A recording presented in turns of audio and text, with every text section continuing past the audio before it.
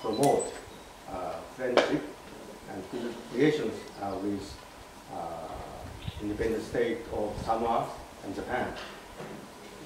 Welcome you to Samoa and to receive your letters of credence accrediting you as the ambassador extraordinary and plenipotentiary of Japan to the independent state of Samoa.